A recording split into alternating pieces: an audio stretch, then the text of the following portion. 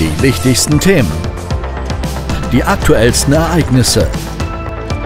Traditionen, die sich über Jahrhunderte hinweg entwickelt haben.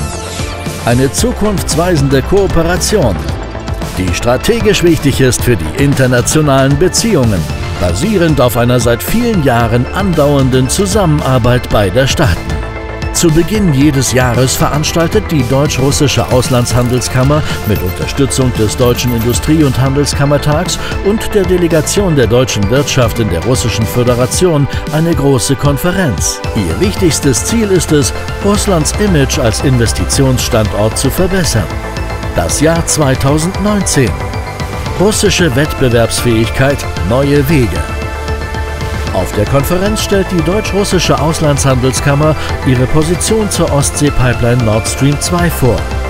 Die deutsche Wirtschaft tritt nachdrücklich dafür ein, dass das Projekt planmäßig umgesetzt wird. Das Jahr 2020.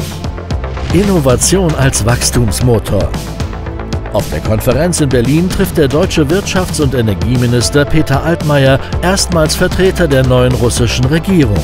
Mit Industrie- und Handelsminister Denis Manturow und Putins neuem Berater Maxim Oreschkin berät der CDU-Politiker über lohnende Kooperationsmöglichkeiten zwischen Deutschland und Russland.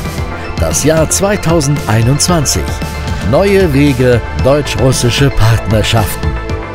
In diesem Jahr wird die Großveranstaltung erstmals in einem interaktiven Online-Format und mit einer Rekordzahl von Teilnehmern stattfinden. Mehr als 1000 Gäste statt der üblichen 500.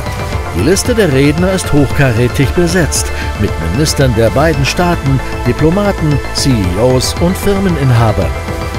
Veranstaltungsort ist diesmal eine Hightech-Plattform, die vom AHK-Team entwickelt wurde.